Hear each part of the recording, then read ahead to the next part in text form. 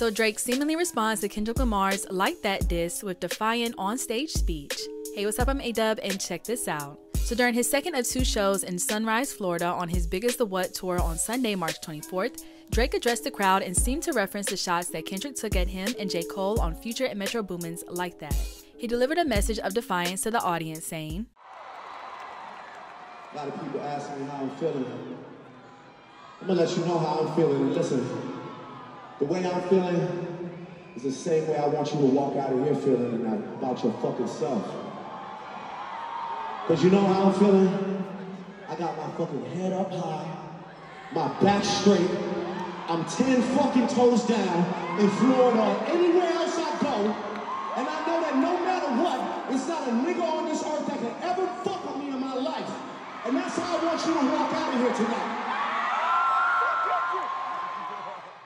Appearing on Future and Metro's recently released joint album We Don't Trust You, Kendrick Lamar launched an attack on his two contemporaries with a scathing guest verse on the 3 6 Mafia sampling Like That. K Dot started by referencing Drake and Cole's number one single, First Person Shooter, rapping. Fuck sneak this and first person shooter. I hope they came with three switches. I crash out like fuck rap. This Melle Mel if I had to. He then dismissed the notion that the Toronto and North Carolina natives were his equals, spitting.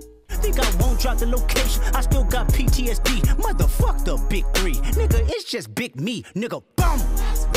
Kendrick also made reference to Drizzy's album For All the Dogs, saying, Nigga, bum. For all your dogs getting buried. That's a K with all these nines. You gon' see Pet Sematary, nigga. Bum. Kendrick also said, Your best work is a light pack. Nigga, Prince outlived Mike Jack. J. Cole originally name dropped Kendrick on First Person Shooter while addressing the long running Big Three debate. Love when they argue the hardest MC. Is it K Dot, is it Aubrey or me? We the big three like we started a league, but right now Cole has yet to comment on Kendrick's Like That verse, but the two have a long history with it being rumored at one point that they were working on a joint album. Addressing the long awaited project last year, the Dreamville leader confirmed that they had concrete plans to record together, but said their respective careers got in the way. So at one point it was it was a real thing.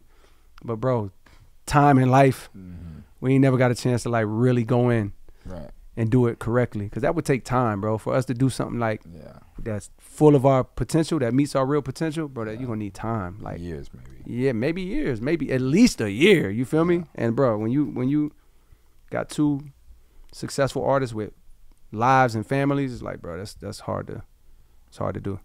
One of the longest living rumors. Yeah, for sure. We I tried to we put it to bed years ago, but at one point in time it was it was a it was a conversation for sure. But it's not like it's a ton of songs, you know what I mean? It's not like it's some album sitting on the shelf somewhere. It's like nah, it was I- it was you know.